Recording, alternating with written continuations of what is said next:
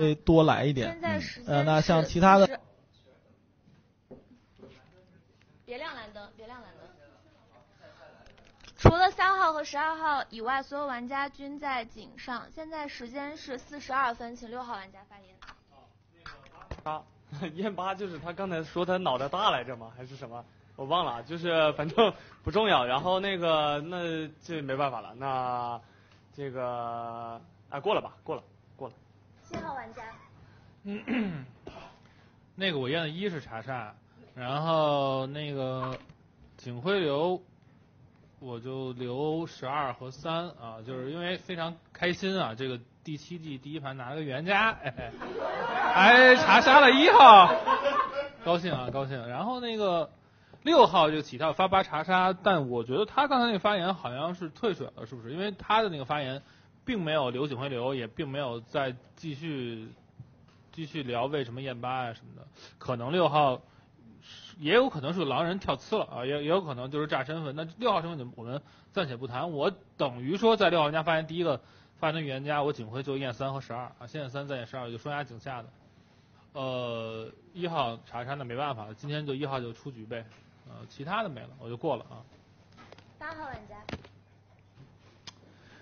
那个就我都不拿这个六当成这个什么悍跳，因为我觉得就是一个瞎跳，那连警徽流都留不出来，就不管他了。就七号牌给一号牌发查杀以后，然后 因为我不太愿意相信一号牌就在这第七季这么神圣第一局就拿一张狼人牌，然后我就特别想感感愿意相信他是个好人牌，我就很很很观察他，但可能很遗憾吧。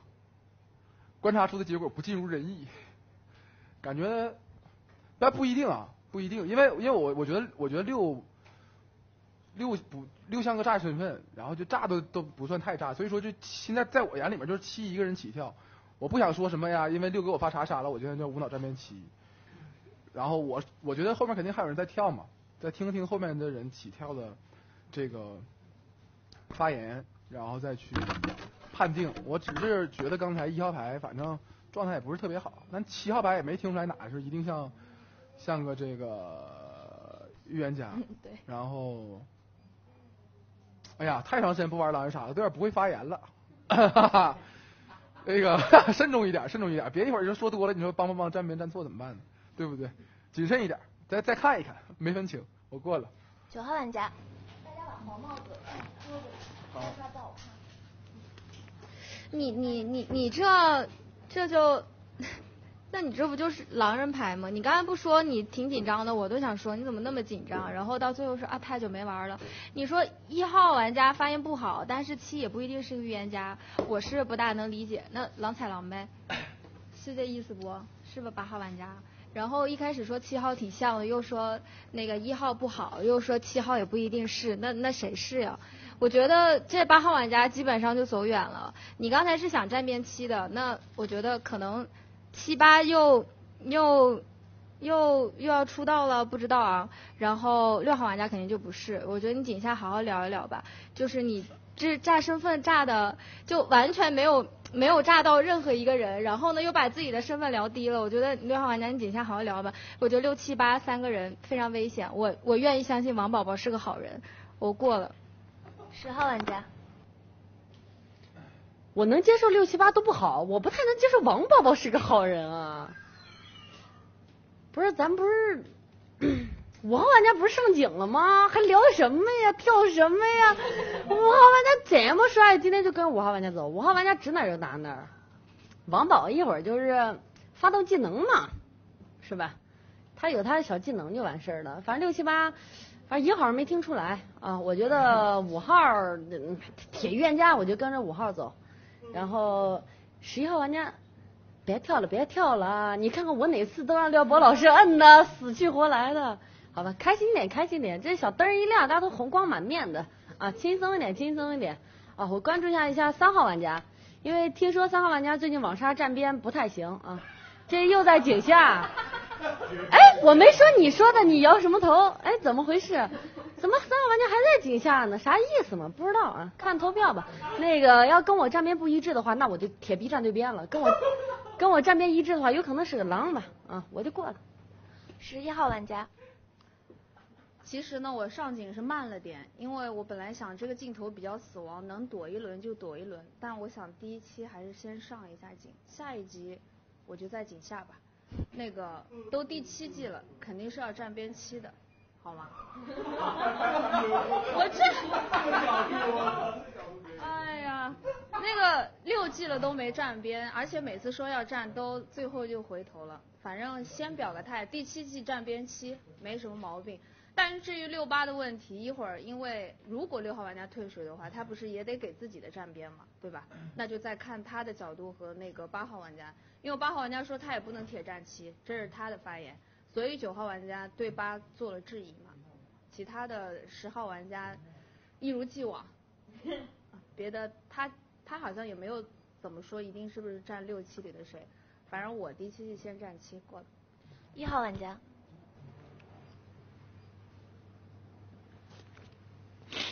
我预言家啊，我第一天验了那个五号廖博老师金水啊。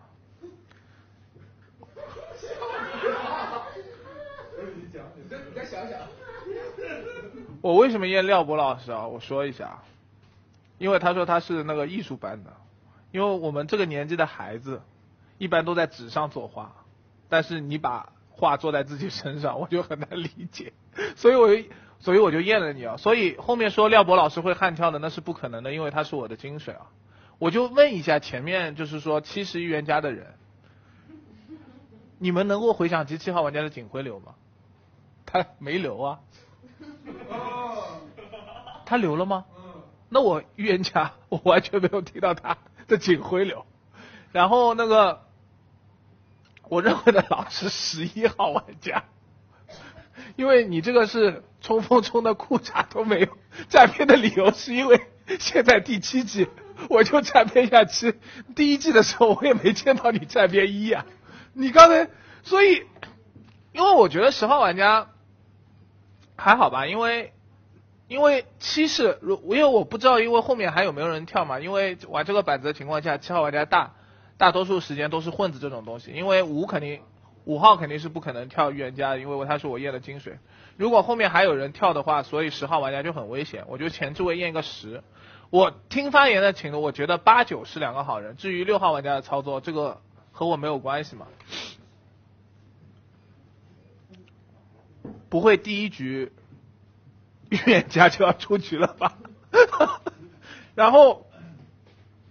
我为什么觉得八号玩家有可能是好人？是因为八号玩家先井上说什么我有可能是狼。还有三十秒。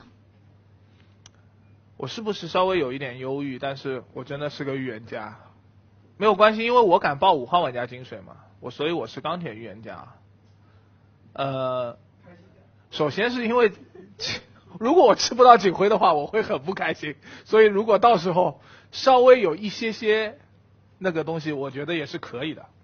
别的没有没有这样，三号玩家你就站队一次别把票投给我，十二号玩家就随便吧，别的就没有什么。我是预言家，第一天验了五，然后我警徽流就先打这个十，我想验一下十号玩家，十一号玩家井下不回头就是天狼，好吗？这一季我要颠覆自我，走逻辑流，过了。二号玩家，听完一号玩家的发言，我就是心情就是失落。失望以及疑惑，就是隔了一个月，为什么你在我们这的上限没有上升，反而降低了呢？为什么井上接到了查杀以后能这样发言？就是我其实作为一个经常跟你玩的玩家，我挺疑惑的。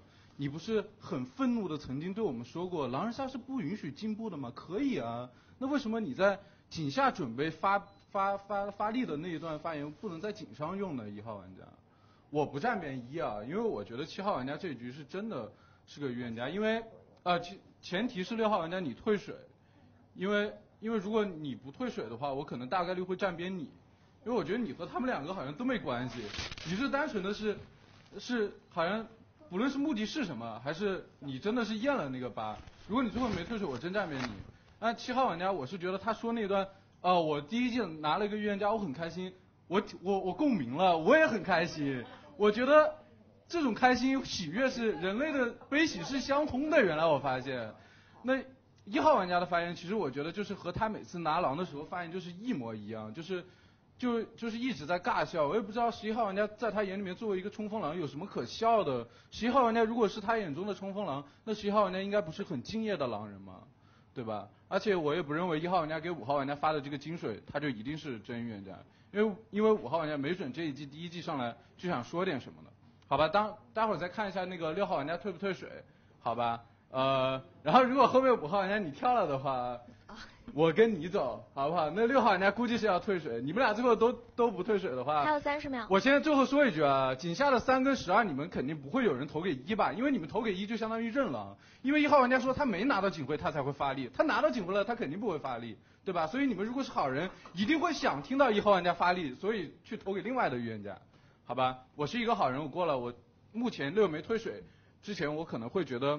呃，我会站边六，但六退水了，我会站边七。好，我过了。四号玩家。我我觉得二号玩家应该是个好人吧，因为我觉得只有那个脑淤血的好人，不是就是就是狼人，我觉得发不出那种什么六号玩家什么要站边六号玩家的这种言，我觉得狼人发不出来这种言的，只有是个好人才会说六号玩家今天不退水，我就跟着六号玩家走。那六号玩家不管谁是预言家，那六都不可能是预言家呀，六是预言家怎么可能？因为再仓促再紧张，怎么都不可能。不留警徽流嘛，对吧？发个八查杀，然后慌慌慌慌张张的就下去了，我就不太会嘛。所以二号玩家能发出这种言，我反向认为二号玩家是个好人啊。当然他其他的言我也没觉得哪里像狼就是了，只是他发这个言，我第一时间就是很难想象有人能发出这样的言。我可能在七跟一里面，我会倾向于七号玩家更像一张预言家，但如果五号玩家起跳的话，我可能就不一样了嘛。我需要听到五号玩家的发言。呃，一号玩家其实我很难相信啊，因为他说。他说十一号玩家是一个冲的裤衩子冲掉了一张狼人牌，理由是因为他说第七季十一号玩家想站七，那你自己说你是个预言家的理由是你验了五五十个金水，所以你是个预言家，那什么意思呀？那不是跟他一样的理由都匪夷所思吗？因为你给大家自证，你说你为什么是个预言家的理由是因为你验了五，所以你是个预言家，那我不接受呀，我不接受用这样的理由去去认同，好吧？我是个好人，井上在五没有发言的情况下，我站边七号玩家先投一，好吧？过了。五号玩家。其实那个我上井其实是想给一直关注上一季最后一次我们发言的时候，就是关注歪哥孩子有没有学跳舞的网友们做一个反馈。他孩子学跳舞学得很好，而且我的确没有收钱，但是老师有点崩溃，因为那个老师被两个小孩子一直支配着，然后一直怀疑着自己是否有能力把舞跳好。现在给我递辞呈都递了三节课了，但是呢，歪哥孩子现在学得很好，已经可以跳四个八拍了。对，就只上了三节课，对不对，伟哥？然后能跳四个八拍的，所以真的是非常有天赋的孩子。然后呢，我我不信七啊，我真的不信七啊，但是可以出一啊，没问题，就可以把它出掉啊。虽然我不信七，但是一说验我是金水，我觉得呃就是晦气啊，就是第一。我来第七季我就来，开始我就来这么一场，哎呦晦气，但但是。我觉得有点奇怪啊，为什么六号要直接给？为什么六号给那个八发了一个那个呃查查之后，立马不是警徽流就说算了？那他得是什么身份啊？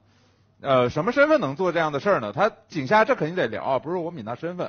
但是我听二号，要不是你四号说了一个什么反向逻辑话，我觉得二号不好啊。我觉得二号这种发言不太好啊。他让井下的两个人都不要投给一，我觉得我自己判断是不是四郎都在井上啊？因为。警无论是一号的团队或者是七号团队都不会把三号、十二号这两位那个在就是井上可以做很多事情的狼队友放在井下吧，所以我觉得井是不是四狼都在井上？三十秒。然后，嗯，看投票，看投票再说吧。反正那个这个金水，我是好人啊，但是金水我不太敢接啊。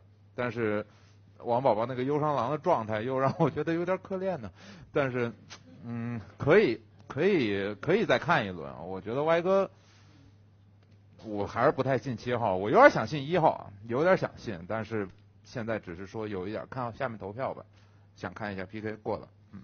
发言结束，退水玩家请灭红灯。人在井上的牌有一号、二号和七号，井下两位玩家请在到时候投票，三、二、一，请投票。三号和十二号均投给一号，一号玩家当选警长，七号玩家请灭灯。昨夜是平安夜，警长选择二或十二发言。不行。我是小朋友都没有一些。那就那就那个十二号玩家发言。十二号玩家发言。没想到啊，好像办了坏事儿。我想想吧，我先揣测一下六号玩家的心态。我觉得你可能是在夜间想了一个那个段子，但没想到垮掉了。讲完之后发现大家冷若冰霜，不如就锦回流也不留了。我觉得你大概是这样一个心态，理解。小帅，把麦克风带上说，不然他们听不到，谁？就观众听不到。我听不到，我也听不见，我也听不见。怎么带啊？就是要一定要带上才能收音比较好。这样不行吗？行我插嘴里看。不行不行不行。不好带啊。因为因为因为装了喷麦贴，请注意用词宝宝，我们对要这样带。能不能来个人帮他带？哎，不是这样。不是这样。是这样吧？对对对对对对对对对。好像也不对。就这样转过来就对了。对，就这个圆的。好。好。其实我在井上是有一点差点被二号玩家说服了，就是说想看一号玩家他发力的状态，但是我觉得人是都渴望变得更好嘛，因为他一直是属于一个不规范发言的典范，他有偶尔一天想做一一个好人，我们其实是给他一个机会的，因为他说这一季他想走逻辑挂，不想只靠一些贴脸走到最后了，我特别。特别的就是欣赏这种做法，因为狼人杀环境确实需要进化嘛。我们就是用实力证明一号玩家被我们进化了，所以就是投给了一。我不知道三号玩家是不是因为想留个 PK 或觉得我会投给七而这么投的票，或者是跟我想法一样，觉得一号玩家可以有个重新做人的机会，这么投的票，并不是说七号玩家不好，我只是。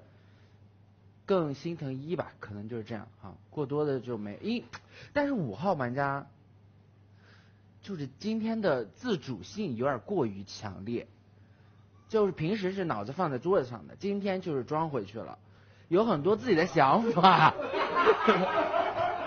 因为以前是放弃抵抗，就说让大家摩擦，今天就是装回去了，想动一动，我就觉得我可能要再盘一下一五有没有可能是双狼，我再盘盘吧，好吧，过了。十一号玩家。哦，那个票型我是没想到的，因为我看了就三十二嘛。我觉得如果不遵于底牌的话，我觉得十二号玩家比较像会给七上票的。三号玩家呢，因为跟十一号玩家一样，经常不站七号玩家的边。没有。啊，好了好了，就全就全场就我一个人不站七号玩家，平时。但第七季要站七，好吧？那个是这样，一号玩家把我打的也太死了。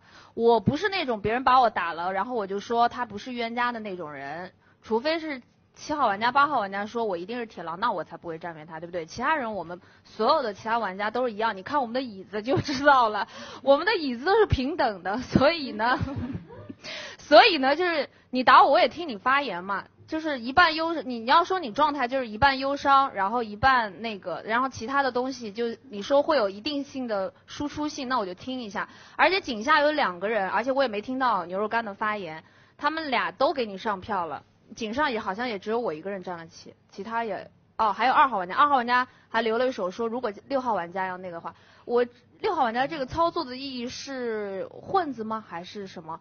听一下六号玩家一会儿说，因为确实也没有。一个完整的起跳嘛，所以因为也没有怎么警徽流或者什么的，所以六号玩家没有进入我的视野，而且后面这么多人，我感觉是会有跳的啊。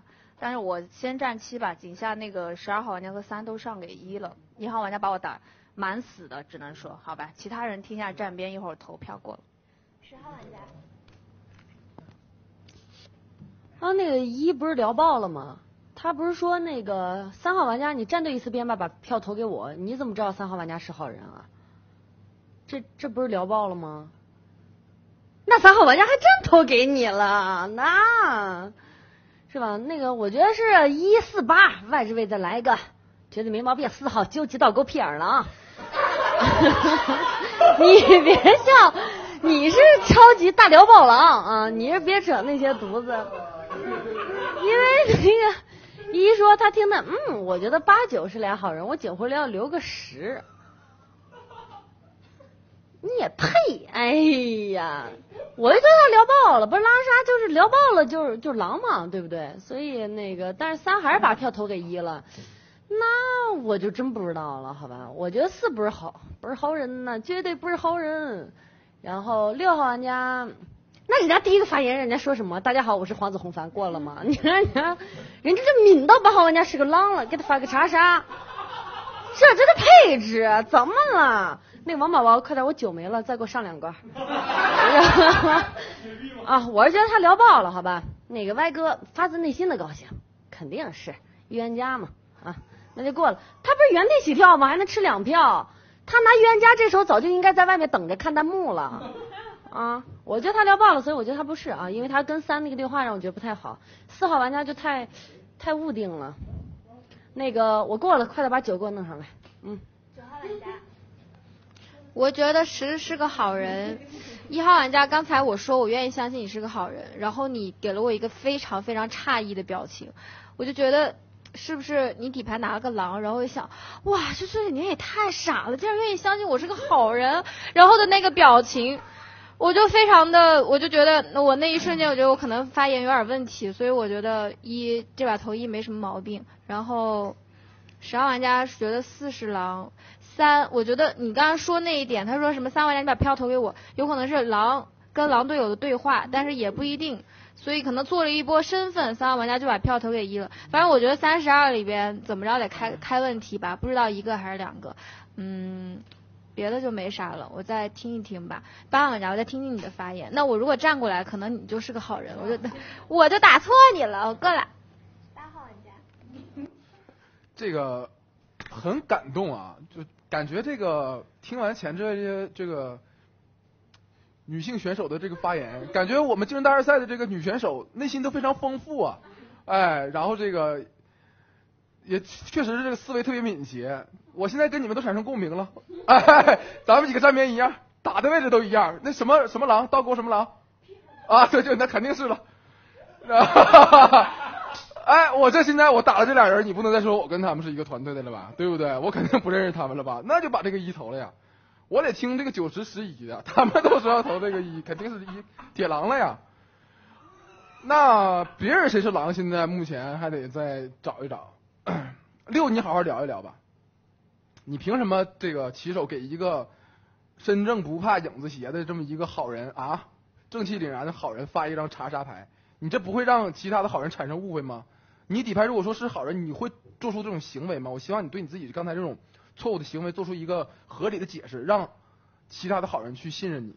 然后现在一想，七号玩家确实是挺开心，这个第一把拿了个这个预言家，开了个好头。因为我也很很很很纳闷，因为我们我们玩狼杀遵循逻辑嘛，并且我们都是网杀出身的，对吧？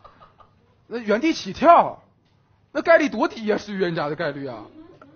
那你凭什么？他凭什么查杀就能查杀到预言家身上啊？这他妈太扯淡了吧？这对不对？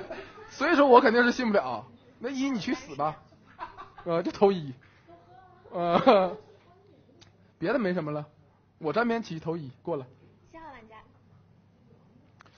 那个其实既然大家都站对边了，我也不用再说什么，因为十二号和三号投给一号肯定有狼嘛。所以我觉得三三和十二里面，我觉得反正可能三和十二，因为三没发言呢。但我觉得三号投给一就更说不通。所以你要说让我找三和十二里面的狼，我觉得可能三号更像。所以十二号他说他说自己就也觉得我是，但是要把票投给一了，经常的啊，经常会有这种情况。但是我觉得你们打什么一号玩家状态低迷这个打他是狼，我觉得就欠妥，因为一号玩家低迷是因为今天他微博上跟人吵架打输了。哎呀哎呀！不是这吵输了，当然是低迷了。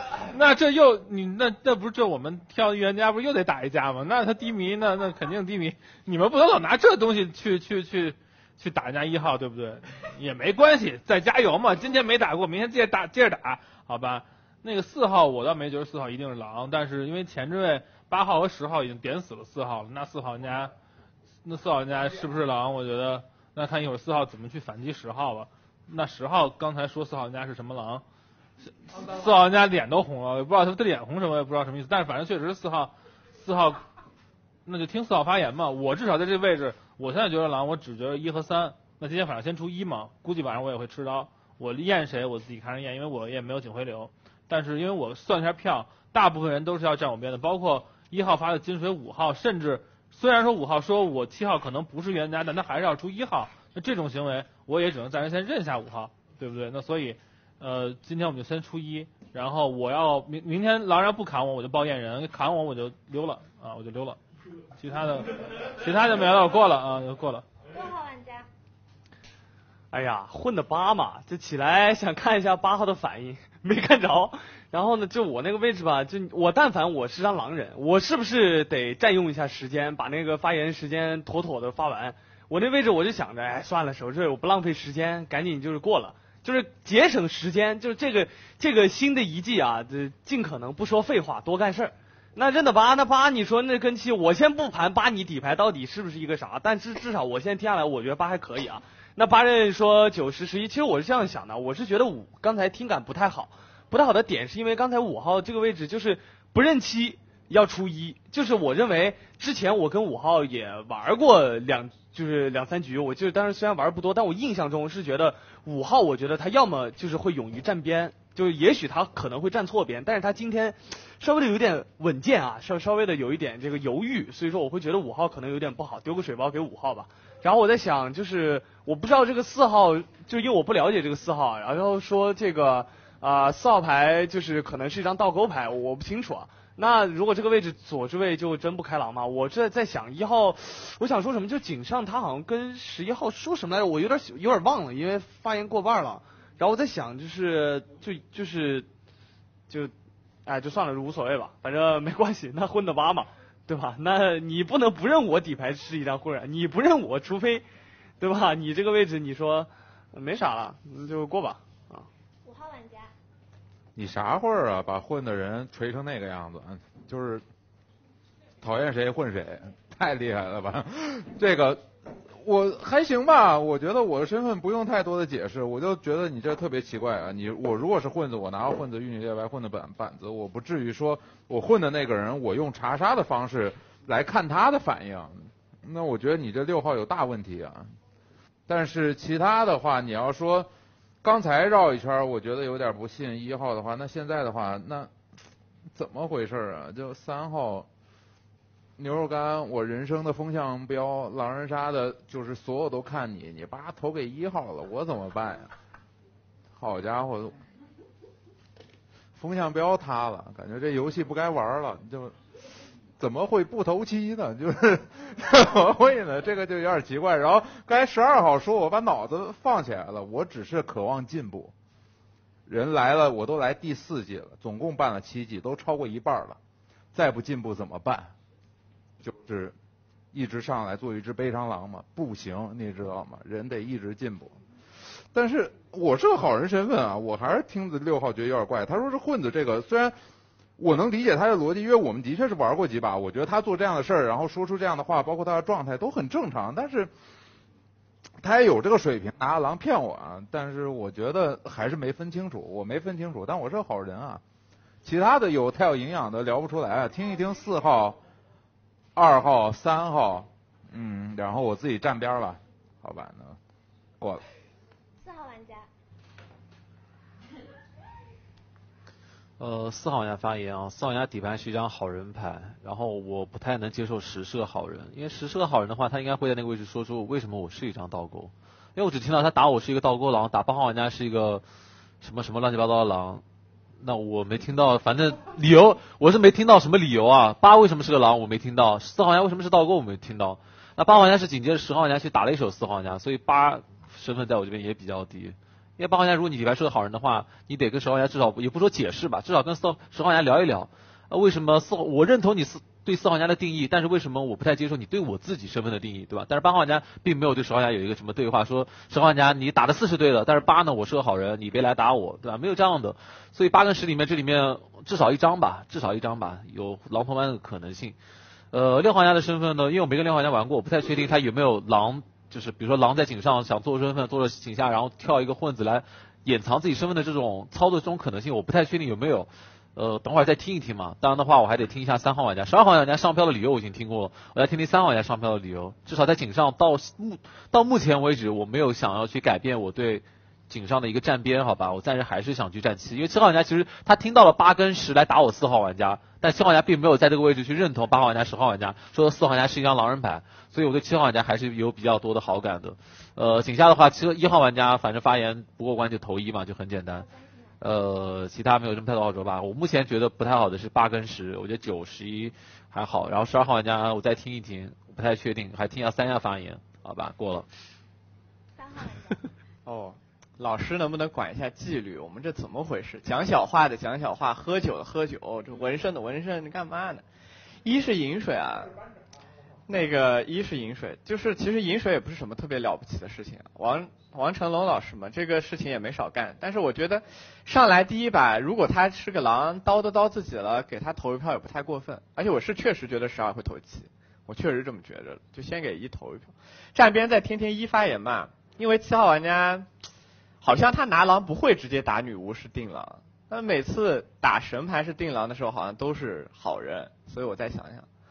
我也没有说一定站边一，只是说他有这个特殊的身份，我给他投一票。那井下听完发言呢，我觉得六号玩家，因为五是我觉得五是好人，因为你站边一五是金水，五独立发言也比较像好人，因为他打了六。六号玩家他跳会儿，我跟六号玩家不玩的不多，但我觉得你你这个操作吧，混血儿井上给偶像发查杀，我不太能接受，所以六的身份我打一个问号。五我觉得是好人，预言家一跟十一跟七还要再听一下，其实点是在这儿。一跟七两个人，如果一是预言家，我觉得他不会让着七，应该不会吧，对吧？那他结尾发言得拿出点东西来。虽然你说你这一季行，那你没必要拜佛或者拿什么干货，你把逻辑干货拿点东西出来，你把坑给我们点一点。那七号玩家我有一个不像的点是什么呢？因为七拿预言家应该会不会直接查杀一，这是我想的，因为查杀一不就骗不到一了吗？那或者说一是狼人，他给一发查杀。好像没什么乐趣，我是这么想的，所以说站边我还得再想一想。但是一是饮水这件事情我报给大家，你们再想一想。至于这是不是个什么巴拉巴拉巴拉狼，就再想想吧，好吧，我过了。二号玩家。我听完前面的发言，除了三号玩家，我还是觉得七号玩家像啊。那那济南的乐天大佛就在那个壁纸上，你待会儿拜。就在那，那这一季做了，给你专门做的，对对着你呢。就因为因为你爆出这个饮水，但我说实话，井上一号玩家的发言讲道理啊，讲道理，他不是要讲逻辑吗？那讲逻辑，井上无论如何不可能验得到十吧？九和十一里面无论如何验不到十吧？因为九号玩家起身跟八号玩家产生了逻辑关系，十号玩家跟前面所有的人都没有产生逻辑关系，验十是什么意思呢？对吧？那肯定是在八九里面验嘛，他觉得八是好人，那就验个九不算过分吧？按照逻辑层面来说，一号玩家井上的警徽流是不太过关的，但一号玩家是饮水，因为三号玩家在这个地方他是一个狼或者是狼混，我觉得他在这个地方，首先他不一定能认清一号玩家一定是他老本，他老板他作为混子，其次他是一个狼，在这个地方去报一个一号玩家的饮水，其实我觉得他也不一定有这个把握去推这个七，所以我觉得三号玩家这个女巫应该是真的。然后这个饮水一号玩家应该是真的，所以我觉得这个场上谁会砍一啊？只有一号玩家你自己会砍自己吧？好像没有人会第一天晚上睁眼了以后会举个一吧？因为根本就没有人会在带会之前看你，因为我们三个是通身份的，那边是聊小话的，然后这边的人都会自己看，然后他们会看我们的反应，所以根本就没有人会观察你的这个面部表情，所以根本就不会有人刀你。我再听一下一号玩家的发言吧。目前来说，其实十号玩家，其实十号玩家和四号玩家当中，按照七号玩家的逻辑，你们两个一定是有一个狼。那我听完发言以后，我觉得十号玩家可能比四号玩家更像狼，因为十号玩家不站边一号玩家的逻辑是，一号玩家怎么知道三号玩家一定是好人？他让三给他投票。但十号玩家井上的发言是，三号玩家自站边谁，他就跟三号玩家反着站，所以这是十号玩家他用打一号玩家的逻辑，这不是一样的吗？对吧？所以十号玩家的身份，我觉得是比四号玩家。单论你们四十啊，再听一下一号玩家发言吧，好吧？毕竟他是个饮水，尊重一下。我觉得他井上的发言是不过关的。好，我过了。一号玩家。气氛组就去气氛组，不要来逻辑这边，不适合你。那我说一下啊，我我认为的狼，你看啊，我发完言之后，我十一号说我我还原一下大家的发言啊，十一号说我打死他。我井上的发言明明说的是，如果你井下如果还要站边七的话，因为你井上站边的理由就像妈妈打儿子一样，是不给不讲任何道理。他说第七季就站，所以就站边七。我为什么井上那么消沉？因为首先我觉得他接歪嘛，他就是抿出我是预言家也是一件很正常的事情，更何况狼人晚上第一天就砍了我，我甚至不确定在六号玩家发言的时候，我甚至不确定七号玩家是不是一张狼人牌，因为他这个操作混子起来给预言家丢查杀，后面的狼都不跳的情况下，所以我都我我都不认为他一定是张狼人牌，直至六号玩家起身跳了一张混子的情况下，那五号玩家他说你们。根本就攻击不了五号玩家是一张狼人，因为你们也知道廖博老师的发言是一针可以见血的。那二号玩家说三号玩家是一张女巫牌，那么我就想说一下场上能够做成我的狼同伴的人是谁？是不是发过言？我们先先姑且不论投票，因为投票大家都不知道嘛。发言的所有人全部都全部都说我不是预言家。那我想请问一下，等会儿他们投票的时候，是不是百分之八十至九十会投我？那七号玩家的发言就很，反正七号玩我我不其实我不太喜欢去聊一个悍跳狼的发言。七号玩家说，如果把一号玩家投出去了，狼人还不他的意思就是狼人不要去砍他。他说如果砍我了我就溜了。那我想请问一下，你们，这设我是个狼，我不砍他，我狼同蛋，我狼同伴砍不砍他吗？那他是一个没有警徽的预言家，就刘杰歪在场上啪啪啪啪点吗？还有三十秒然后我还是要回答一下，因为我认为九号玩家是一个好人嘛，我回答一下。你说，你说，你我因为我没有发言嘛，一般性他给我丢查杀的时候，我都已经绝望了。你说你相信我是一个好人，我当然很诧异，因为我不知道你什么身份。那现在三号玩家跳了一张女巫牌，那十号玩家的发言，你说我应该，他说我不应该验十，那我应该验几呢？那前面九跟八你是站边我的，八号玩家井上是锤了七号玩家，六号玩家是跳预言家的，那。肯定不能往后面验嘛，对吧？是因为后面已经有我五号玩家一张金水牌了嘛？那二号玩家你说我不能验十，那我就验验四号玩家。发言时间到。我验四号玩家，请七号玩家出局，我是预言家。过了。归票七号，请所有玩家在倒数后闭眼投票。三、二、一，请投票。一号、二号、三号、五号，投票给七号。四号、六号、七号、八号、十号、十一号、十二号投票给一号，九号投票给三号，一号玩家八票出局，请留言。我能看一下票型吗？八票？怎么可能有八票？七票？哪有七票？你给我看一下票型啊。除了我们四个。七票七票，除了你们四个和九，其余都投的因为九投了三嘛，九投了三嘛。三是投的七嘛？你有没有考虑过他是混子？无所谓嘛，因为我已经不能作作为狼人了嘛。你看，你看，我们是一二三五四票嘛。别的别的，其实我我其实我真的说一下，因为我没看到小黑最后投的也是一嘛，应该，那就没有办法了嘛。那我是狼的话。因为这边有六号玩家跳了混子嘛，我也不知道什么情况。因为九号玩家，九号玩家投的是三嘛，如果你是女巫，你就读七；九是女巫，你也读七，因为他有可能是混子。那我是狼，我让女巫毒七干嘛？万一女巫不毒七呢？狼也不砍七，尽力了呀，兄弟们。但但是我不理解为什么。二号玩家能够投这一票，二号玩家不能发，二号玩家绝对不能发，他这一票好脏啊，哈哈哈哈哈哈真的好脏啊这一票。等会儿我先说好啊，就是最后等找不到狼的时候，能不能投一下二号玩家？这一票太脏了，dirty，dirty，好吧 dirty dirty 是脏的，是三，德腿是脏的意思吗？是吧？我我警徽肯定是要给那个五号玩家，感谢信任，我真的是冤家了不？别的。别的没有，我我看到这个票型，我只能说那个啊、很竞争大师赛第一季岳家首轮出局啊，就这样啊，愉快的过了啊，没了没有了，过了。嗯，好，呃，那个警徽给我。来，我老师亮个红灯。嗯，好，欢迎回来。好，欢迎回到解说间。那简单的说一下这局的话，其实九投三这一票其实就很要命了呀，嗯，对吧？那九投三这一票其实可能就一定程度上说明了一些问题。对。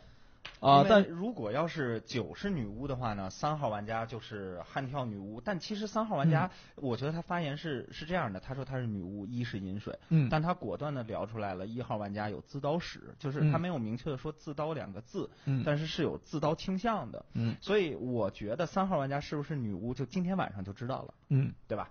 这个其实还是很而且关键的一点，我觉得王宝宝的临场反应还不错。嗯。呃，他在那个位置直接构筑了一个逻辑，就是说，那九号玩家在这个位置外置位投了一票三，嗯。那有没有可能三号玩家是一个混子？嗯。啊，他是这么看待这个问题的，对。因为他其实提供了一个视野，他是倾向于九投了三，九可能像女巫一点，对。然后但是三号玩家在站边他自己，所以嗯他在推测三号玩家的身份。对，但是三号玩家是混子，他他是混了一吗？他觉得一号玩家是狼人，不是不是这个操作，最重要的问题是前置位已经跳了一个混子六号玩家了。是啊，嗯，所以他如果要盘三号玩家是个混子的话，就直接要打死六号玩家是个狼。是个狼人，对，呃那其实他的狼坑基本上就已经满了，就是六七八十不太跑得了，对对吧？七悍跳，六号玩家穿了混子的衣服对，八十两张牌配置绑架，对啊、应该是大概这样一个思路。我们可以切回现场了。嗯，一天亮了。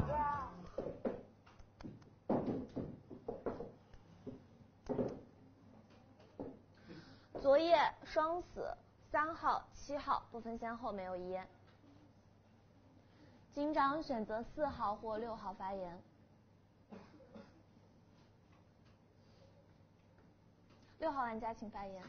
我觉得一号走的是，我觉得一号走的时候那个遗言还蛮有意思的。我觉得那九挂三的无疑九是那张乌牌嘛，对吧？那三吃的毒，七吃的刀，那七十张真玉没问题啊。一那边是让狼牌走的呀，对吧？三号牌这边跳屋帮一打身份，然后当时好像是二号牌先说了，说三号牌可能是一张混儿嘛，但是就是在这个位置就无论，就是因为在我的视野中，就是就是因为呃是二号牌先先提的这个这个逻辑点，然后一号牌在最后结尾的时候对话了这个九号，想模糊九号的视野，说是可能想想让九去独张七号牌，对吧？但是所以说我我我在想，我我不懂那个一二之间的这个逻辑，但我觉得我我觉得二号井上跟啊井上的发言，我觉得我我是认为挺好的，我不打这张二号牌，我就只是单纯单纯想，因为我底牌是张混嘛，那没办法，我就混就是张八号牌，然后三号牌说不接受我给八发查，就是反正我平时玩混，就是我混的谁对吧？混了个大跌。我就随便我但上井发个发个查杀，那我看看他啥身份，我觉得对吧？这个也也也还好吧。就是我觉得应该是好人，应该是能能够容忍我这个行为。至少八号，我觉得你应该能够容忍认你当爹的这张牌的这张身份，对不对？对不对？你这你这那对吧？你说让我得为我的行为那解释，我解释啥？对不对？那认了，那就得帮你跟八打，反正。我票的一，对吧？我认的七啊，以我的能力呢，我听到这儿，然后我往左一转，哎，八号也挂的一，稳了，那就跟对了，就认对了，那就就这样。然后五号牌觉得我六号这牌这边可能不好，没事儿，你看好你好兄弟做不做坏事儿就就行了，好吧？这个绝对的，这人很干净，那个底牌更干净，过了。八号玩家，嗯，我不管别人会不会质疑黄子红凡认我当爹这件事儿，我一定坚信他是真诚的，我也一定坚信这是事实。所以说，六号牌在我心里这个混子身份神圣不可侵犯，你必是混子。弟弟，你既哎不对，我你认我当爹，我认你当弟，这是不是有点不对啊？那个，那咱俩各论各的啊，各论各的。你其实都不用去想任何发言了，你就躺好。我我说打谁你就投谁就完事儿了，因为呃，这个九号牌刚才去投了三，三号牌死了，那九号牌得是个牛牌，这七号牌也死了，那七号牌吃倒了，三号牌吃毒了，那一号牌就是张狼人牌。那一是张狼人牌，三是狼人牌，场上还有两张狼人牌。那投这个七的刚才有这个二和五，那你们确实应该去好好聊一聊了。好好聊一聊的情况下，在二和五当中，我可能更愿意听你二号牌好好聊一聊。就是你的发言一直是觉得一不行，一这不行那不行，最后你一票投在七，就是我也没听出来刚才一的发言有多么的这个惊天地泣鬼神，他也没有达到曾经那个天花板那个级别。你不是刚才很嫌弃他没有到天花板吗？那他刚才也没到天花板，那就什么发言能打动你，让你瞬间在这短短的一分钟之内意见发生改变了？他说我不太能接受。还有三十秒。我也不藏着来，也给你们点机会。我是个白痴，行吧？我是个白痴，晚上把我砍了吧。哎呀，我我还有尿，然后这个 还有呢。我但我觉得廖博老师其实是可能还是有有被拯救的机会。被拯救的机会是因为七号牌，其实在刚才井上的发呃井下的发言里面是曾经说过廖博有可能是好人的。这是我捕捉的一个七号牌发言的信息。发言时间到，九号玩家。我过了。我怎么越听越觉得你像狼呢？刚才头头七的是一二一二三五，然后你把五号牌给摘出来了。你说你说五号牌有可能不是，那谁是呀？你也不去聊。你六六是你的混血儿对吧？然后你觉得我是女巫，你也不去打十十一十二，那你你眼中狼就三三张狼人牌，所以。我真的觉得你不像白痴。然后，呃，我说一下，我饮水四号啊，四号是我的饮水，所以你们两个打呃八十去打四的，我觉得八号牌已经不大灵了，我所以我再听听十号玩家的发言。嗯，别的没啥了。我那轮投三，其实呃就是主要也我也不知道该投谁，所以我就投了个三。呃，而且还有一点就是我在想，如果我去投了三，有没有可能我就是狼人可能会去刀我，有可能我。不一定会撒毒呢，所以就是我是这么想的。但其实一号玩家他的遗言就已经不大能是预言家了，因为他认我是女巫。三号玩家是报他饮水的，三号玩家跳女巫报了一号饮水，我是站边七的。他遗言跟我对话说你不要去毒三，他怎么可能在他的视角怎么可能认我是张女巫牌？他一定认为三是女巫，我是要投三做身份的悍跳狼，所以一号就一定是张狼。嗯。再找一找狼吧，我觉得二应该没得跑了，因为三号玩家刚发完言，你直接认他认下他是女巫了，但你没有认下一是预言家，我觉得有点奇怪。嗯，别的我再听听吧，我跟着四号玩家走过。十号玩家请发言。怎么？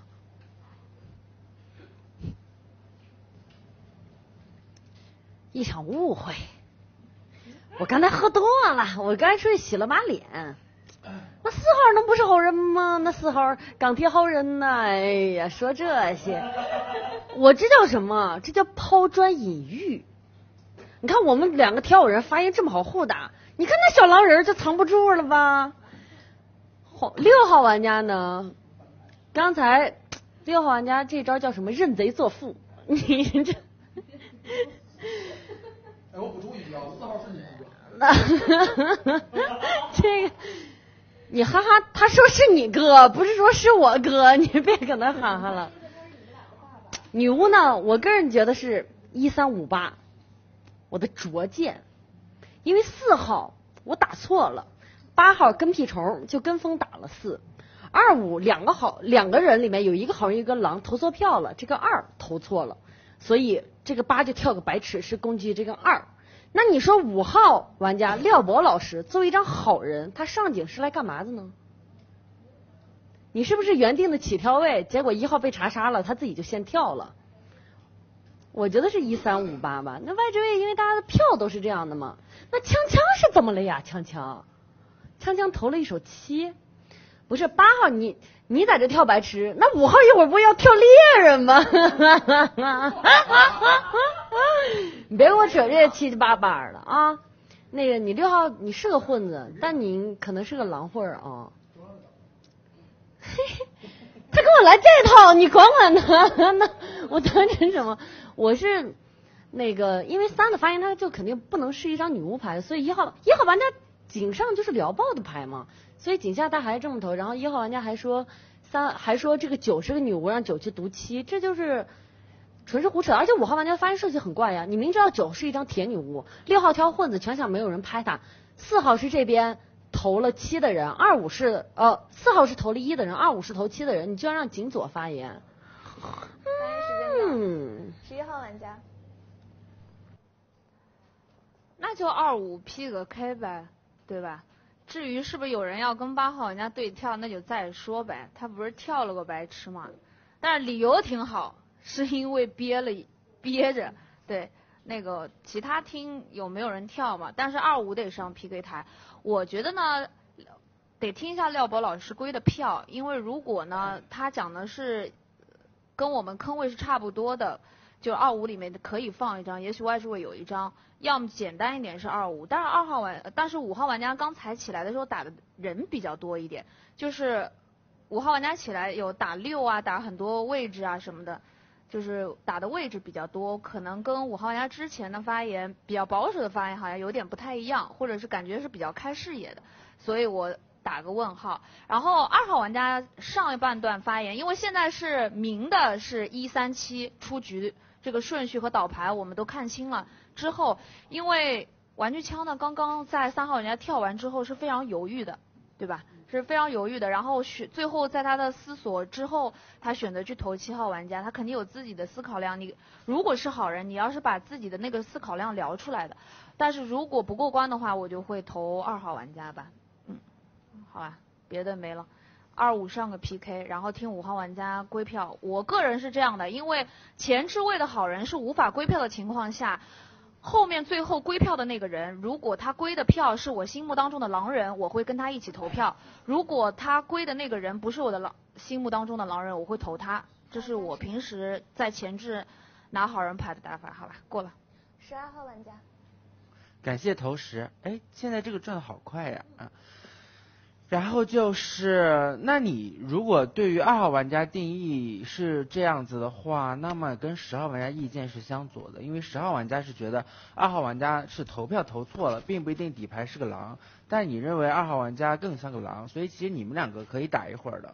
我自己认为二号玩家从头至尾其实没有想过站旗，他的发言都是希望一号玩家努努力，来一点活儿，他并不是说对他是一种否定式的，就是说法，他他是一种恨铁不成钢，他想说派你起来悍跳，你还不给我整点活，这么低迷的出局了，作为一个狼都兜不住你，这是你对一号玩家的判断，还有你对三的判断。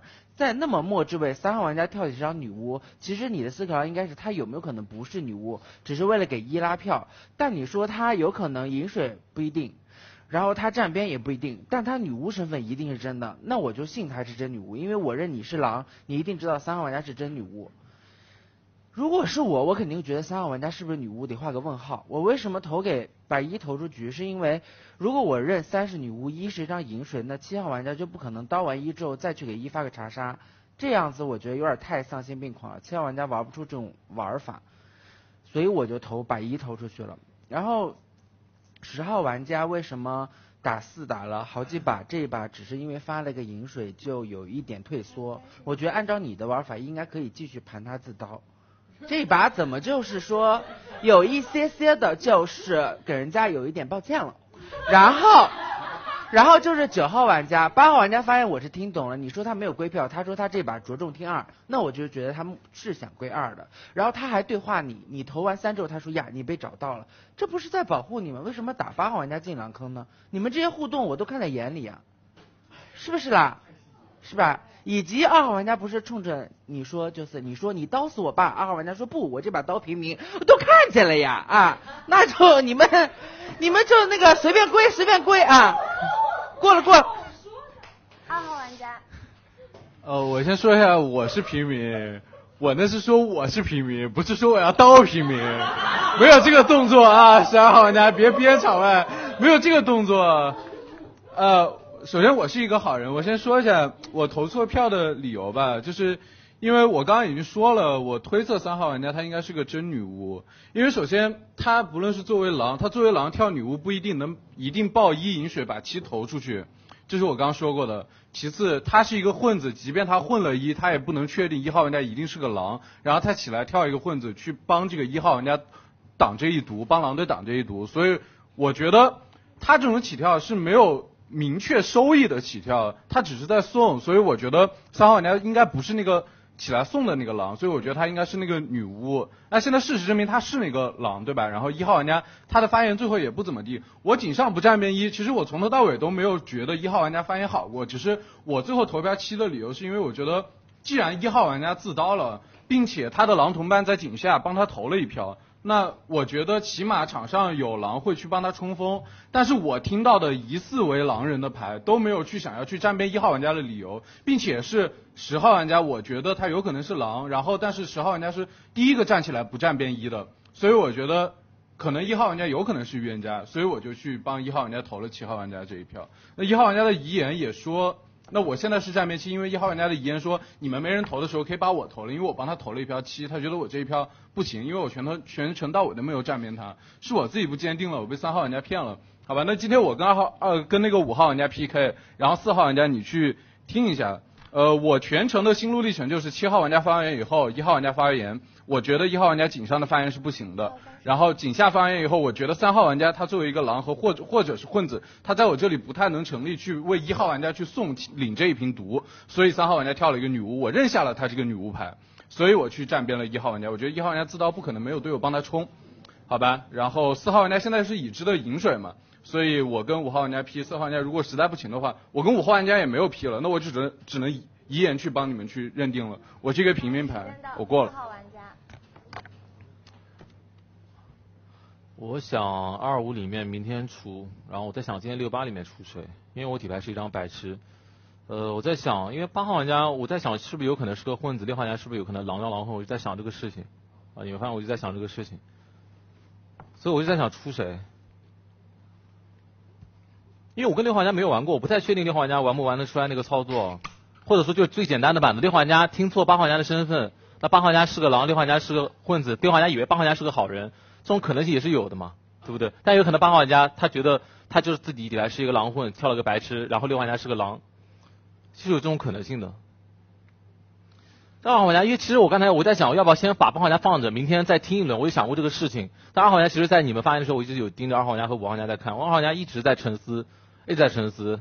就我看他那个状态，有点像是一个好人在想要想要想怎么表水的那个东西。所以我不太确定二五里面到底谁是那张，因为现在一三是两张狼人牌，我们是已经已经已经确定的事情。一三是两张狼人牌，那六八里面其实是存在有可能置换的事情的。所以我在想，那二五里面可能只出一张，二五可能不是两个。对，二五有可能不是两个的情况下，我在想，我再要不要出这个八？主要我没有警徽，如果我有警徽的话，我可以用归票来说，因为我现在发言当时是五号玩家发言，五号玩家他归票，那他要么他归二，他也不不会去归八的，所以我一定要在这个地方把这个票给结了，然后今天归了八，明天不是九死就是我死嘛，一定是这样子的。然后明天你们还是要自己要在那个二五里面二五里面去听一张，好吧？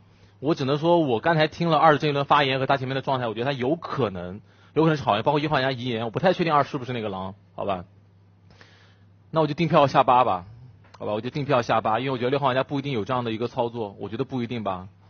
我第一次跟六号玩家玩，我不知不确定，那我想定票下八，因为六号玩家肯定也不可能下八的呀，我算一下票嘛，因为二号玩家自己想活，肯定是得投八，我自己得投八，九号玩家会投八，十号玩家应该也会投八，好吧？就这样吧。我还是把脑子放桌上吧，就是，我已经听不懂了，太累了。当小怂跳出来的时候，我说哇塞，那我就赶紧认个错，然后跟着我怂哥一直走就完了。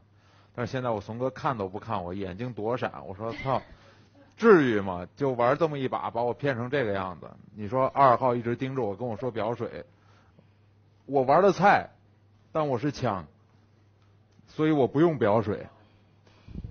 你走吧，就是如果要我俩走一个，你走吧。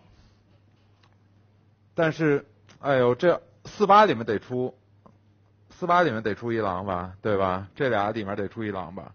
那你说四定八，你怕我来掰那个？你肯定觉得我是，就是能把我掰成狼的嘛？但是我我真不知道啊，因为你九号起来你是女巫，你。你其实没必要，你是女巫，我能认你是女巫，你没必要投个三号，你投三号那个行为就是，你把它读了就行了，你再出来说怎么都行，你这样一说了，感觉不说歪哥是预言家被刀了都不行，就让我们这种更判断不清楚了，特别的难受，真的，但是。要么四八里面选吧，对吧？要么四八里面选吧，呃，自己自己投吧，我看一看，一二三四五六七八，我不投，没有零点五票，对吧？你们自己去弄，对吧？自己站就行了。然后这上面有一个条，就是写的就是我现在的心路历程，就是廖博老师放心背，站错了边自己背，我不站了，你们自己来。我觉得是这样的，就是因为。二号你发言是挺好的，但是四八里面得出一狼吧。我更是不是因为九号给了四号饮水，四号才能站站出来说这话？我已经弄不清楚了。我是玩的菜啊，弹幕朋友们可以骂，但是还是挂个牌子。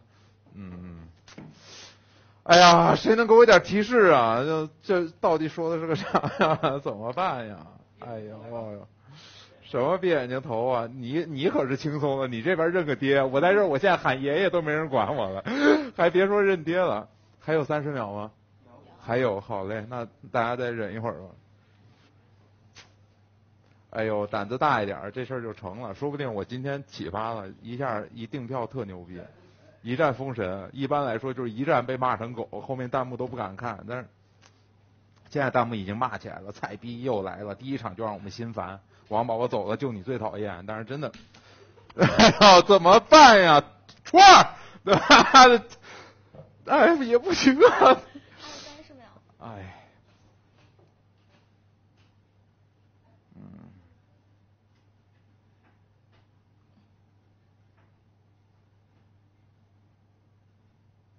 哎，反正你们都有自己心里有结果的。反正四订票了，是八，对吧？八肯定是要定四。我在这边，我影响谁？他妈的都是我背王宝宝，你可真是王八蛋！给我警徽干嘛呀？我操！妈呀！给我什么警徽呀？我他妈在这他妈拿着纹身装初中生，我容易吗？嗯。哈哈哈哈哈我订票出四，出四，行了，就这样吧。我定出，我我我警徽我归四。但是是我归的，就就就这样吧。警长归票四号，请在到时候闭眼投票。三二一，请投票。一号、五号、六号、八号投票给四号，四号、九号、十号、十一号、十二号投票给八号。八号玩家出局，翻牌为白痴。哎呀，我这白痴牌哪去了？那个。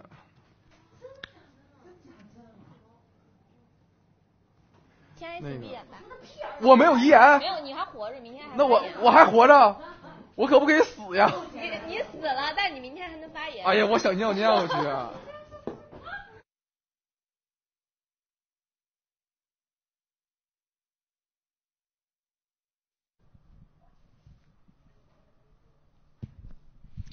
好，欢迎回到解回说间啊。那个、哦，我们先普及一下，我们玩的应该是白痴不需要追刀的。对，不需要追刀啊。对，所以按照我们现行的白痴规则呢，像这样白痴被投出去呢，就直接死掉了。对。啊，但是啊，有可能他还可以在场上插插话，然后那个插科打诨，嗯、这个是没关系的。对。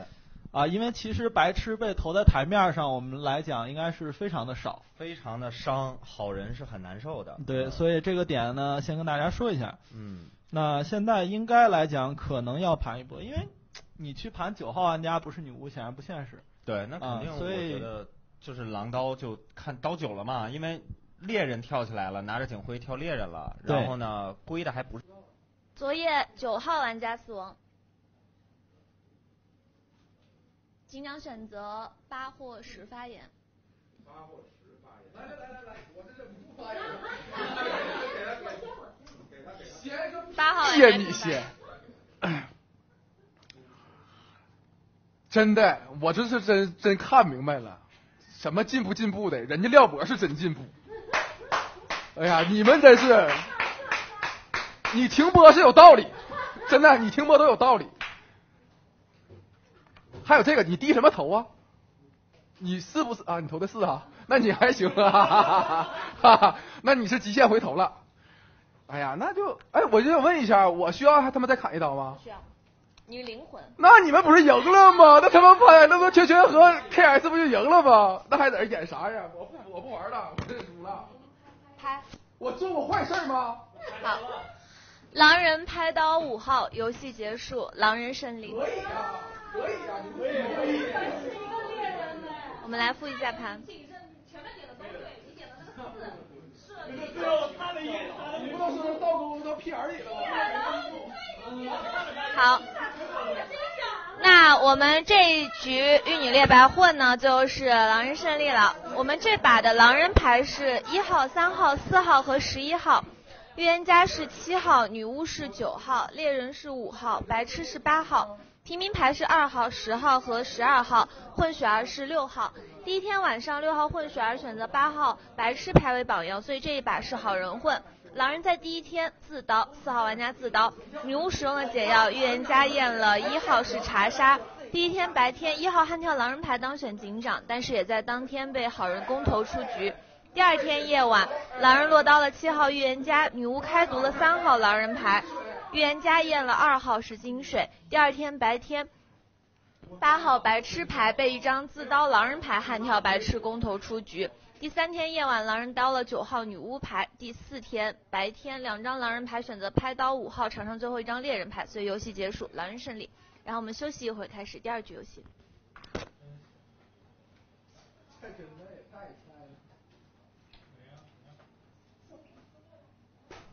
欢迎回来，好，欢迎切回解说间。那再给大家再介绍一下，我们这局游戏的四张狼人牌呢，分别是一号、三号、四号、十一号。嗯。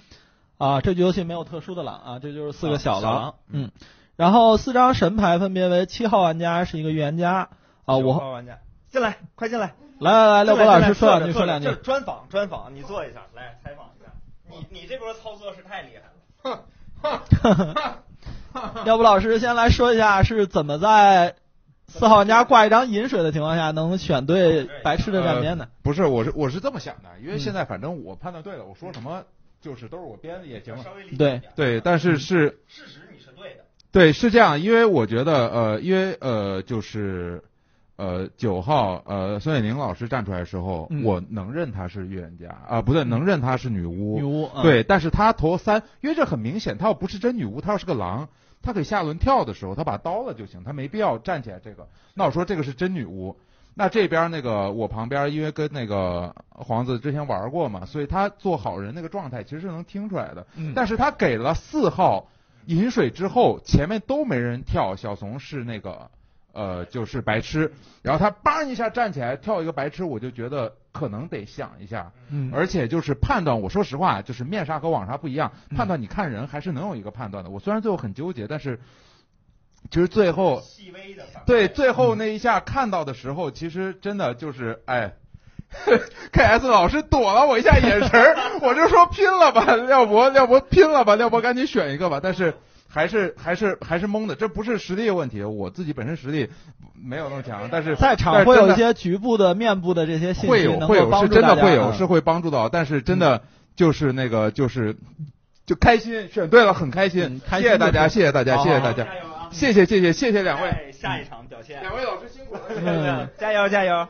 所以说我们说这局游戏比较大的一个特点是，终于我们有人开始自刀了。啊，对啊，这个点呢必须提一下，没错。啊，因为我们其实最近呢，其实刚才有好汉有聊到，我们有一个 WCL 的一个呃赛事，对，戏我们戏称为王成龙杯，王成龙啊，也是我们同样是虎牙平台在主办的一个面向线下的一些高配玩家的一个玩家们组织的民间赛事。对对对，啊，好汉老师也参加了。对。那么我们拿那个赛事为例呢，其实我们说在那个赛事里自刀牌屡见不鲜，很正常啊。对，而且已经有很多的女巫牌提出了我救了他。但在我的视野里，饮水等于没有。对对对。那我们说，盘，其实，在狼人杀前几年非常兴盛、比赛很多的时候，嗯，饮水水这个东西其实确实什么都不值钱，不是很重要这个啊东西。但是呢，我们在玩一些朋友局啊，包括一些比较轻松的局，会有一个心理的暗示，就是哎呀，没有人那么脏，就我们随便玩一玩，刀自刀干嘛呀？其实我觉得可以理解为，如果线下大家一起娱乐的话，玩的是盘逻辑，对。输赢不重要，是嗯逻辑。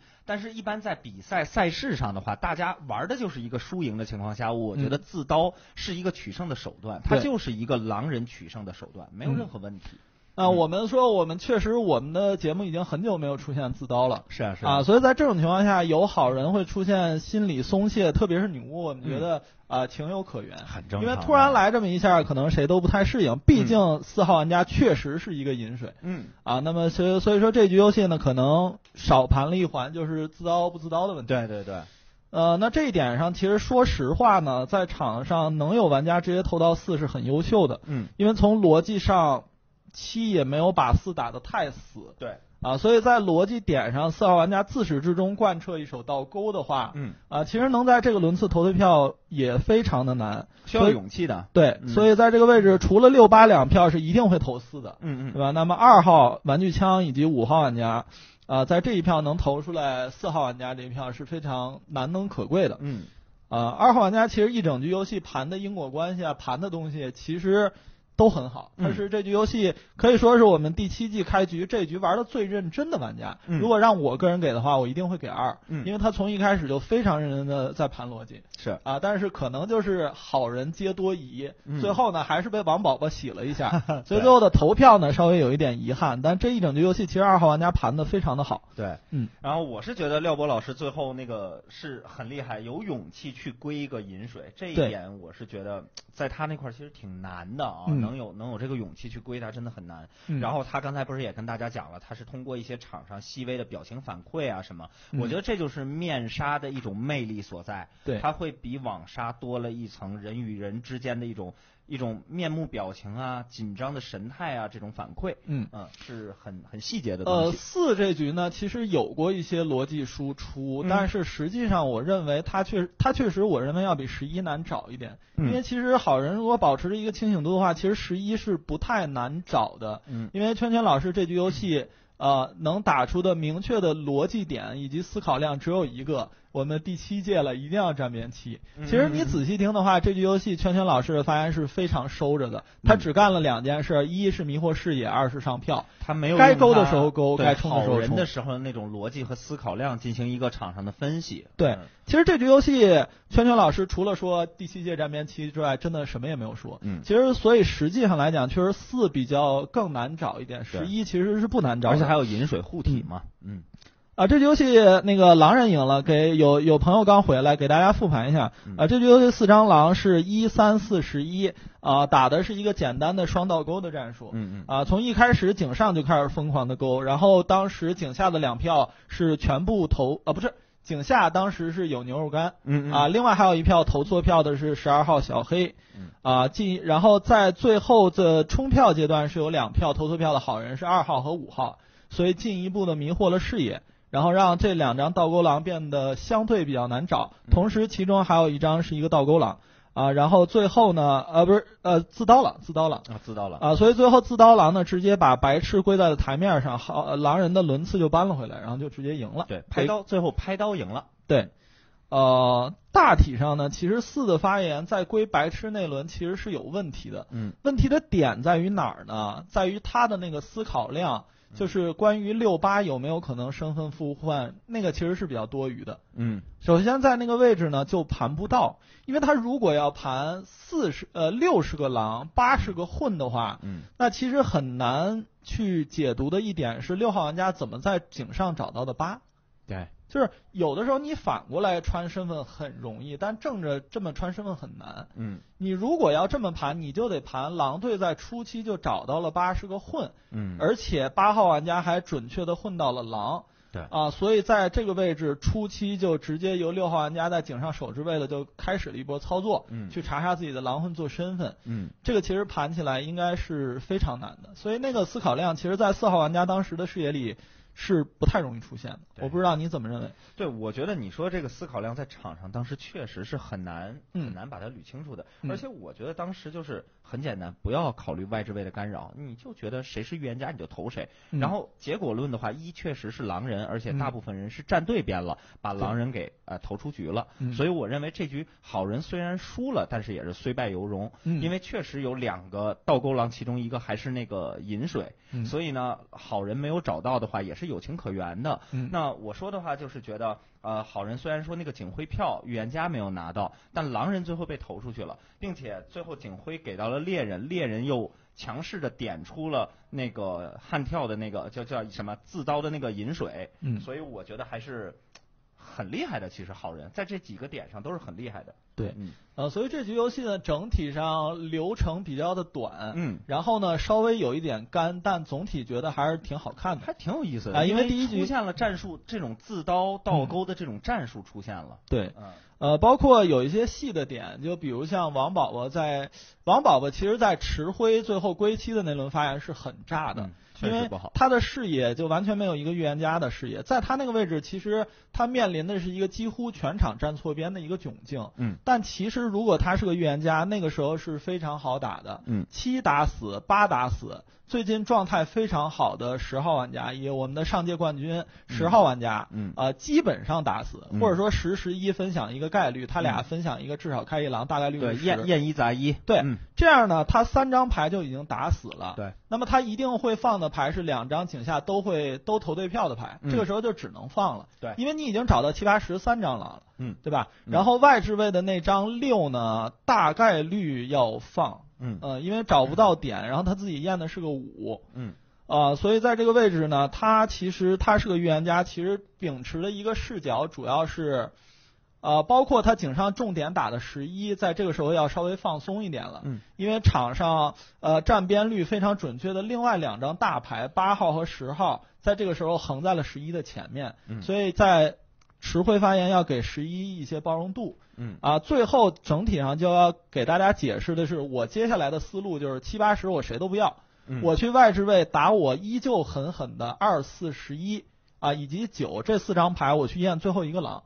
这是一个呈现在一号预言家视野里很清晰的思路。对同时，因为我现在觉得八号玩家是个铁狼，但是九号玩家井上井下打八打得非常重，所以九这张牌虽然站错边了，我会优先选择把它放一放。嗯二九二四十一里去开最后一张到呃最后一张狼的位置。对，坑位如果按你说的这么去点，我觉得是很完美的。对对对啊对对配合上的发言，我觉得他是很有可能把歪哥冲出反冲出局，因为毕竟他有警徽嘛。对，嗯，啊、当然其实就是我们都说的都是理想化的东西这是最理想的发言格式，因为你在那个时候，你你在末置位归票的时候，你的那个心理压力啊，当时发言的状态啊，然后呢，还有你的思考量有没有那么长时间进行这么一个长篇的思考？对因为咱们这个思考，说实话就是马后炮，嗯是他们都死了，咱们去想出来当时他怎么做是最优的结果。嗯所以说。如果他这么做了，我相信这个狼人悍跳一定是能把真预言家冲出局的。对对对。嗯然后最理想化的发言。对，但是现实就是因为他是个狼，他的视野跟预言家完全对不沾边，肯定是不一样的呃，所以他聊的东西跟理理想化呢相去甚远。对对对，啊，然后包括说他在其实他在遗言的那个点，我倒是蛮欣赏的，嗯。能够在很短的时间盘出来，因为三是他的狼同伴，嗯。他终究要拯救一下，对。他在很短的时间盘出来，下意识认九是个女巫，但是认三是个狼混，嗯呃，反应是非常不错，但是非常牵强，嗯，因为逻辑盘不通。对，那个时候六在前置位已经跳了个混，嗯。如果你要盘三是个三是个狼混，打死六，但三跟你是投的一样的票呀，嗯，对吧？对，所以你就只能盘三号玩家可能是个混，嗯。他甚至大概率有可能混了我一，嗯。但是他自己呢，呃，比如说加一点点缀，哎呀，这个废物怎么样？嗯。他混了我，但是有可能他把我当错了，他站错了边，他以为我是个狼，啊。所以他才能打出这么光怪陆离的操作。啊。那是一号玩家能为三号玩家解释的唯一一套有用的理论，就是他是个混，但他自己站错了边，他把我当成狼了，打了个狼混。对，否则是无法解释的，因为如果你要这么盘，三认为自己是个混，戴能认为他是一个好人混，他干的第一件事儿一定是点死六。对，但是他的发言嗯过程中不可能把那么多的时间都放到一个拯救三号上面，对对吧？他嗯他只能是一笔带过，逻辑就盘不全，那最后还是交给真女巫，你要读谁？真女巫一定会读三的。对，所以这局游戏呢，就我们说应该相对来讲是一个比较经典的第一天全站对边。嗯啊，包括狼人的倒钩狼在推波助澜。对啊，但从一开始我们说狼队准备的战术应该就是打中后期的，嗯对吧？这就是那两张倒钩狼，甚至有一张倒钩自刀狼。对，这就是他们的用处嘛。对，这就是他们所设置的意义。对，那么在这样的情况下呢，所所以说我们第一天是人狼共同努力，嗯啊，把悍跳狼王宝宝投出局。对，但在第二天呢，由于呃站错边的牌的数量，好人牌的数量够，嗯啊，狼人的战术整个迅速的开花结果。对对啊，然后其实小怂是有一点点让了，嗯呃，甚至他可能也没有想到自己会直接被投出去，被冲出去了。对，嗯，呃，因为小怂可能当时觉得，一是娱乐赛，二是这个轮次领先的也比较多。对，啊，至于事后的一些事儿，比如说 KS 自刀这些事儿，嗯啊，是他在那个位置肯定是始料未及的。对，啊，所以他没有想到一张自刀狼能够深深生生的把他掰掉一个轮次。嗯啊，这个其实，在廖呃廖松的遗言里是能够体现的。他当时对着麦对大家说了一句：“他说我这局游戏干啥坏事了？凭啥把我打的这么死？我啥也没干。”对，呃，事实也是这样的，因为他认下了会儿，嗯，对吧？然后他打的位置，包括打他打四什么的都没有错。嗯他这局游戏你客观的判断，他唯一做的能叫做坏事的只有井上。嗯。井上他继续搞事情，嗯。他说：“我觉得一看这个表表情怎么也不太像个好人，嗯。但是七呢，我又觉得看他敏相怎么样怎么样，嗯。啊，所以其实就像女巫牌孙远宁说的一样，其实八号玩家隐在井上隐晦的勾勒了一个逻辑，就是一七双狼。嗯。啊，因为狼队没有打复杂的板子，所以这个东西本身是不攻自破，嗯。但是呢，他那一轮搞事儿呢，其实多少为自己后续的那个付出了一点点代价，是，嗯。嗯，你介绍一下那个下一局的板子吧。嗯，呃，我们第二局的板子是狼美骑士，然后我们第三局是大家在娱乐赛非常期待的呃盗贼丘比特。嗯，啊，这是我们后两局的那个啥，导播间如果有那个想切回去，可以随时切回去。啊，然后因为现在可能还在上洗手间啊，休息一下，喝对点水什么的。啊，我们现场一般没有切回去，并不是因为要给我们解说间留时间，嗯是而是因为现场没准备好。嗯对，啊，现场如果准备好，我们会第一时间切回去的。对，嗯。然后下一局我看啊，下一局是狼美骑士这个板子，大家应该也比较熟悉吧？不用那个过多的去介绍。啊狼就是不太需要站边。嗯嗯，狼美骑士其实现在唯一需要讲的就是我们的网杀和现行的面杀规则有很大的一个不同点。嗯啊，是我们网杀现在有一个比较新的玩法，啊，叫做落地戳。嗯就是骑士呢落地就要在两个对跳的牌里戳，嗯然后呢，呃，狼人要保证一定的上井数量，包括一定要悍跳。嗯，那么骑士井下呢就不听发言，直接把那个去选择戳死。其实我是这么认为的，我也知道网杀可能有的时候会多一些这种规矩啊。对但是我认为狼人杀的最初的初衷是面杀。嗯网杀呢是一种躺在家里快餐形式可以享受到娱乐的这么一个途径。嗯那么确实是在网杀里你找身份啊，也不是什怎么好找啊，所以可能会有一些规矩来限定一下好人或狼人的这个实力问题，就是配置问题或怎么样的，去稍微有点限定。嗯但是我们来说面杀的话，你看啊，如果骑士选择了戳预言家，那狼美就一定能活。狼美只要活下来，他最后的胜率是非常非常大的。对，其实所以我们想跟大家说的点就是，我们还是按照正常的规则，哎对。哎，骑士想什么时候出什么时候出，对，骑士玩的好，甚至有可能第一天呃，对，扎狼美是一回事，骑士可能会通过暗示直接告诉大家，我不戳就我不戳就直接先把悍跳狼给出了，对，我留着后期听的比较清楚一点，我留着我自己去戳那个狼美，我我在这个板子里，我对面纱的这个狼美的板子啊，我的嗯。理解是悍跳一定要很努力，很努力，至少努力到逼着那个骑士来骑你。对啊，最优的选择就是你拿到警徽，然后呢让骑士撞死，这是最优最优的。嗯退一步是骑士撞死在你身上，但警徽在你手里。我觉得这样的话是给狼人能有一个很大很大的后续操作空间。对，因嗯为狼美骑士的板子，我们说，呃，外置位狼的倒钩率是非常高的。嗯呃，首先狼美牌，因为他怕过早的被戳，呃，在我们的印象里，狼美是高概率啊，高概率应该是要倒钩。他们让我把这个怼在嘴上，说我说话他们听不清，对，我尽量怼近一点儿。同时呢，由于有一个骑士第一天正视角，嗯所以其实外置位的狼有出于心虚或者各种怎样，都其实会偏勾一点。对，啊，但是要跟大家说的是，如果你的悍跳狼同伴发挥发言真的非常好的话，嗯冲也不是不行。对因为这有一个非常强烈的一个舆论造势的功效。没错，对你如果能为你自己的悍跳狼同伴造足够的势呢，其实就有可能骑士把自己直接撞死。对，那这一来一回，这就是两条命，这对这这个差距是非常壮大的。其实其实那个肯定你是知道这个，我觉得咱们两个要跟那个观众朋友们探讨一件事情啊，就是我认为骑士这张牌它是不给好人追轮次的，嗯，它仅仅是正视角的。对，也就是说怎么理解呢？比如说我们两个人对跳预言家，嗯，外置位的骑士把我戳死了，嗯，骑士翻牌，然后嗯自己为骑士，我是狼人，直接入夜。嗯那请问大家，实际上的效果是不是和我自爆直接入夜是一模一样的？嗯，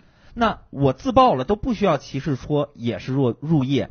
骑士戳了我入夜，骑士还把牌翻开了。嗯，其实不追轮次，嗯所以我认为骑士这一戳就一定是预言家很难分辨的时候，你在预言家里面戳一下。如果很好分辨，要不然就不戳，直接推人；要不然就是你外置位找一个明狼，或者说或者说一个非常难难判定的位置去戳一个圣水出来。嗯啊、我觉得是这样是比较好的。对，嗯啊，我们这边其实聊的差不多了。如果导播那边 OK，可以随时切回去。嗯啊，跟导播那边，因为我们现在设备还差一个，今天还有一个小小的遗憾，我们那个对讲机没有拿到没拿到对讲机。对，所以我们这边现在跟导播间现在沟通稍微有一点困难。嗯啊，如果准备好了，直接切回去就可以了。对，啊，其实就像你刚才说的那样，其实我们说在这个板子里，现在骑士骑到狼美的呃次数已经非常非常的少了。嗯呃，我们就简单的说，如果呃狼美没有被戳的话，狼队就是直接多一个带人的轮次。对对对对对，所以这个板子其实现在来看并不是那么的平衡。嗯啊，这是我们公认的一个对狼人其实稍微有一点优势的板对。，狼人偏强。对，嗯但是其实大家又很爱玩。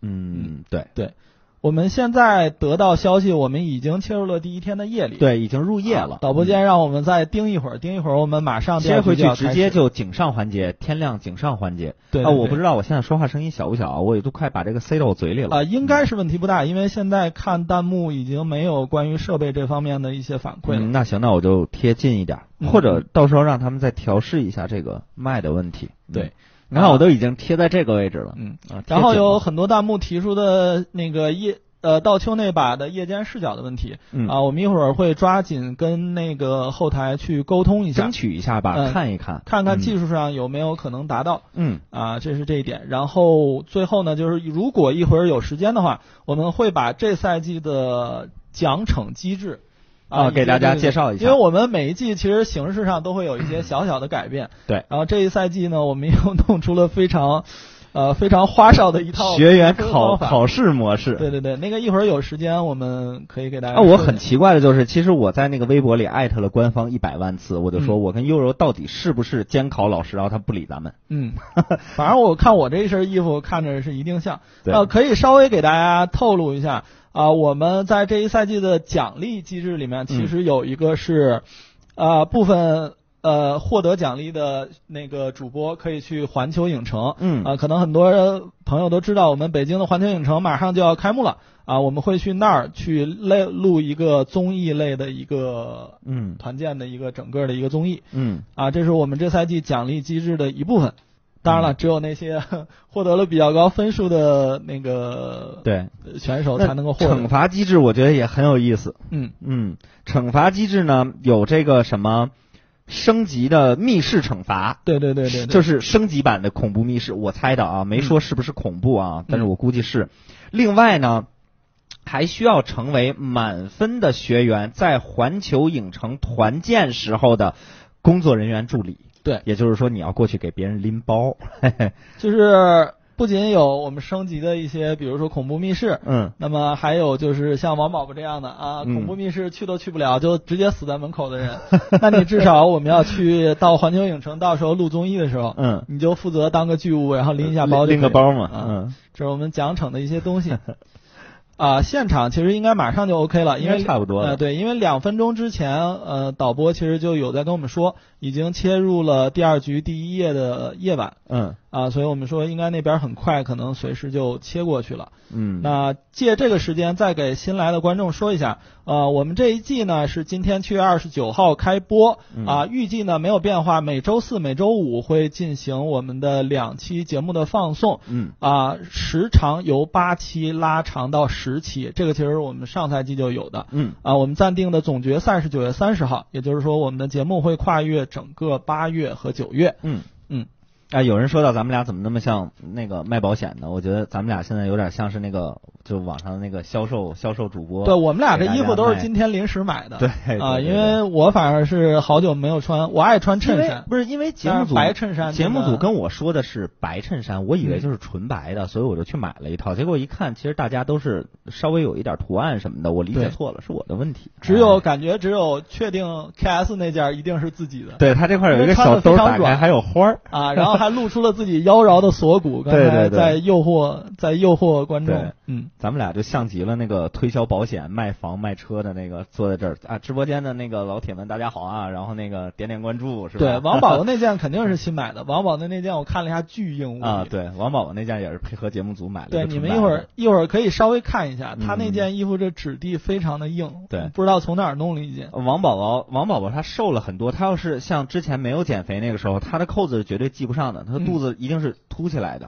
嗯但是现在他这段时间就健身啊，然后控制饮食啊，他确实瘦了挺多。刚才在开始前，我跟廖博老师，然后还有王宝宝，我们三个人坐下来在讨论怎么那个就是控制饮食啊，然后吃的就就少油，然后低碳水这种，我们仨还在聊。对，嗯啊，我们其实我们的简单的说一下，我们的每一期嗯。六局游戏全赢的玩家，嗯，就可以获得，就可以直接获得我们去那个呃环球影城。环球影城团建的机会。哇。啊，所以这个东西其实看起来还蛮难的，对。因为一整局一整轮的游戏下来是十次左右，嗯，呃。不是那么容易有六连胜的选手出现，我觉得挺难的。对，我们拿第一局来说那，我们今天有可能获得团建的，其实就只剩四位了，嗯对吧？对。那么是 KS，然后圈圈，嗯。然后王宝宝，嗯。还有牛肉干，嗯。啊，对，所以我们都甚至不敢说会不会在今天之内三局游戏完了有一个三连胜。就因为我觉得下一局有可能这这四个人里再翻车两个，然后第三局再翻车两个，没了，就不可能再有全胜了，对对就得看积分了啊。呃，刚才有弹幕说到是不是超牌了？我们觉得有可能啊，有这个可能性，因为、嗯因为那个这个夜确实有一点长。对，嗯因为现在我们的解说间是在现场的隔壁，也就是说这面墙的后面就是那个他们的现场，嗯然后我们现在环境等于就大了一些，灯光也好了一些，空调也有独立的了，所以呢就把我们切到这边来了。反正听起来应该是没有打起来，就非常的令人失望但啊。是缺点就是我们不可以听到就是。呃现场的一些声音了，比如像嗯之前就是现场要抄牌，我们是可以听到那边在叫抄牌，对吧？然后呢，就是谁的牌掉了，或者晚上谁睁眼了 DQ，然后重新再怎么样都有可能。对，嗯，啊、因为从那个位置角度讲，给大家稍微说一下啊，就是 JY 坐的位置大概率就是大概就是在这个大的后面。嗯，差不多。对对对，哎，还真是。呃，我们这堵墙其实就是歪哥和小怂身后的那堵墙。小怂大概在这个位置。对，金子。对，嗯，所以歪哥大概就坐在这个大字儿这儿，所以要是有人打他什么的，我们应该可以通过震动什么的传送过来。但我们这边听后面非常的和谐，嗯啊、也不知道抄牌还是怎么样，反正这光这一页就又聊了五分钟钟了。正现在，反正现在就是我们连入夜的音乐声都是听不到的。对嗯，也没有对讲机，目前我们只能靠导播给我们发。我们光靠聊，我们把热度聊高了二十多万，刚才刚才二百七十对，万，关键二百九十万。解说的时候，我们坐在这儿都是笔挺挺的嘛，要不然你看我们这么坐着就会很难看，然后就挺的，现在我腰都巨疼。对然后幼儿老师也是。这但其实还好，因为我们一季刚开始的时候，其实有很多新鲜的话题可以聊，嗯啊，所以随时可以撑过去。对，不像当时张硕文可可乐那一次，给我晒在中间聊了，我和菜包子聊了二十六分钟，太尬了对，那次真的是太尬了，因为没有 没有事先做太多的准备。对。啊，这一期像临时有一点小的那个意外啊什么的都 OK 的。哎，有人说在墙上捅一个眼儿，到时候我们拿那个电钻在这个大这块儿扎一眼儿，然后到时候开始的时候我们拿笔伸进去可以捅它。啊，这个这个其实很好弄，因为我们这个解说间的这个幕啊，嗯大家可以看到稍微有一些褶皱，嗯它是一个大的，类似于那种那叫啥？幕布。啊啊，对幕幕布类似于那样的东西，然后后面的就是那个墙，所以搞一些事情也完全不是不可以。对，嗯，我觉得这个咱们这一次的这个主题啊，我觉得啊设计的就很好。我不知道后续的那个可玩性和服装怎么样啊，啊。我就说这个感觉，咱们坐在这个这个底下的感觉，我觉得挺舒服的，就是那种什么园游会啊，然后感觉咱们整体都年纪都变小了，嗯。呃那种感觉。啊，那我们干脆就趁着现在这个时间，把那个我们那个奖惩机制完整的给大家介绍一下嗯，介绍一下因为不知道发生了，哎，好了好了，好，那我们准备那我们切回去嗯。